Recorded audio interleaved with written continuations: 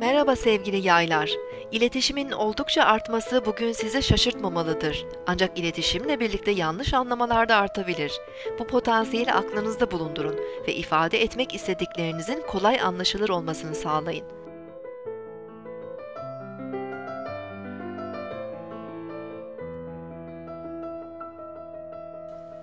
Bugün 26 Mart 2014 Çarşamba, Merkür günündeyiz.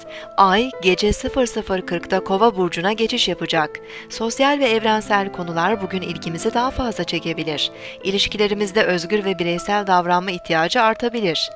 Balık burcunda ilerleyen Merkür, Jüpiter'le üçgen açı yapacak. Sezgilerimiz ve yaratıcılığımız artarken duygu ve düşüncelerimizi daha rahat ifade edebiliriz. Empati yeteneğimiz, şefkat, merhamet duygularımız ilişkilerimize olumlu yansıyabilir. Yakınlarımız ve arkadaşlarımızla duygusal paylaşımlar yapabiliriz.